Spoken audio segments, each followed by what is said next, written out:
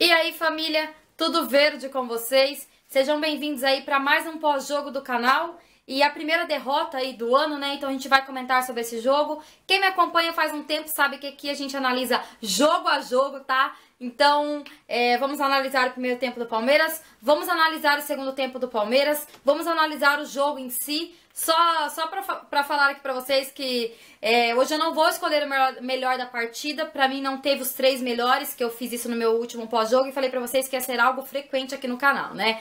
Mas eu também tive uma dificuldade aqui. No segundo tempo, 10 minutinhos aqui, é, a luz de casa aqui acabou, a energia, e só voltou aos 40 minutos, então fiquei um bom tempo aí ouvindo pelo rádio e acompanhando pelas redes sociais, o pessoal tava falando, então fiquei um bom tempo no segundo tempo aí sem acompanhar o Palmeiras. É, vou começar falando sobre o primeiro tempo do Palmeiras, que foi horrível.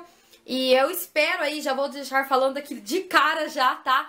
Que esse primeiro tempo do Palmeiras não se repita durante a temporada de 2019. Por quê? Porque eu vi um Palmeiras preguiçoso, né? E por que preguiçoso? Porque parecia que o Palmeiras tinha comido uma feijoada ali, tava lento, sem vontade. O time do Bragantino tocando a bola, é, chances claras de gols pro Bragantino e o Palmeiras dormindo. Teve parada técnica aí, no, é, acho que 30 minutinhos, acho que antes, não sei se foi, não lembro se foi antes ou depois do Palmeiras. Foi antes do Palmeiras fazer. Não, depois do Palmeiras fazer a, a paralisação, não só o Palmeiras como o Bragantino. Fizeram uma paralisação ali e o, o time do Palmeiras nem merecia ter tomado água, viu? Porque ficou andando em campo. E então, inclusive, é, aos 4 minutos teve o primeiro gol aqui Primeiro gol não, desculpa. Primeiro ataque do Bragantino.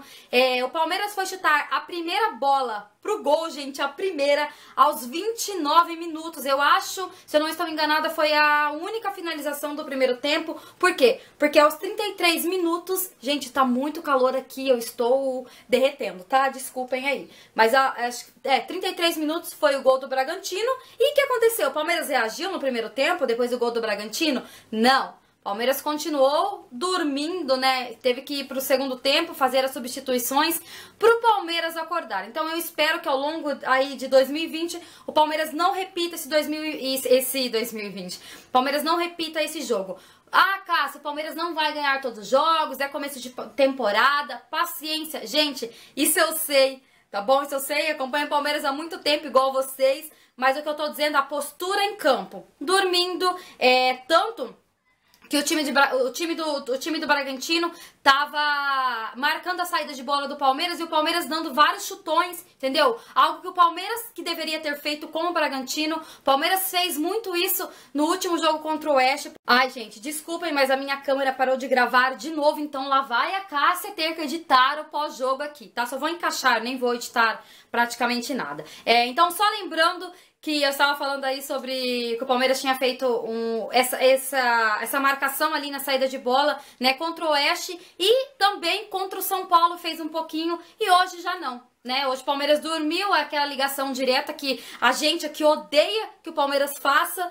E então foi basicamente isso o primeiro tempo. Quem acompanhou deve ter ficado tanto com, com raiva quanto eu. E a gente foi pro segundo tempo. Antes de falar do segundo tempo, gente, é, eu só queria lembrar para vocês, que vocês que gostam aí de fazer uma fezinha, nós estamos com uma parceria que é a OnXBet, tá bom? Inclusive eu vou deixar fixado aqui no comentário o link é, e usando o código Palestrina, vocês serão um bônus muito gratificante. Então você que gosta de acertar placares de jogos, gente, não percam mais tempo. Cliquem no link aqui e usem o código aqui para vocês ganharem um, um, bom, um bom dinheirinho aí e começar a ganhar uma grana extra nesse fevereiro que se inicia, né? Beleza, então vamos voltar aqui para análise do jogo. Só falando aqui do segundo tempo do Palmeiras, aí o Luxemburgo, gente do céu, que calor, desculpem, tá?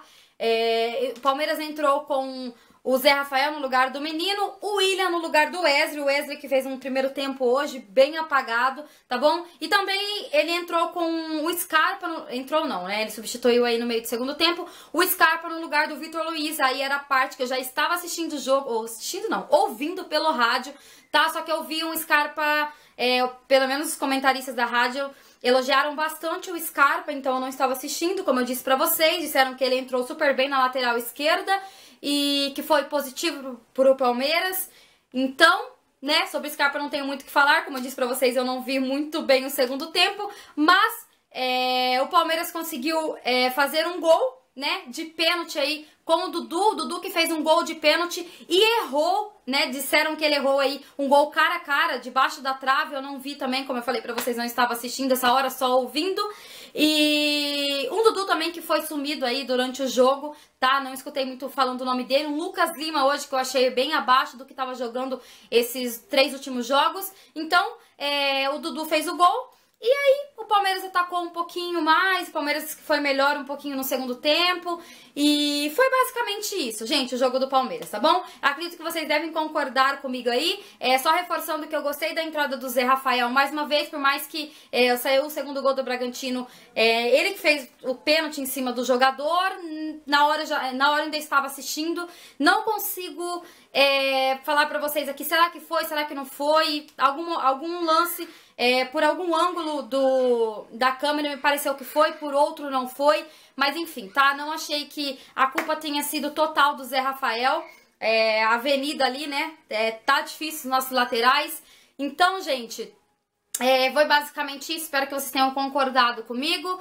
E deixa o um comentário de vocês aqui o que vocês acharam deste jogo. O calor tá demais. E só incluindo aqui é, o agradecimento aí do. que ontem eu acabei não gravando, mas incluindo o agradecimento do dia do meu aniversário. Eu recebi muitas, muitas, muitas mensagens. Foram mais de mil mensagens. Nós chegamos a 91 mil inscritos e isso não tem preço, sabe? Eu sou muito agradecida a vocês. Então, muito obrigada a cada um aí que me desejou feliz aniversário. Eu aproveitei bastante. Ontem eu deixei um pouquinho para descansar também. E nós estamos aqui hoje gravando. Gente, que calor, que calor. Eu preciso de um ar-condicionado nesse lugar, não dá.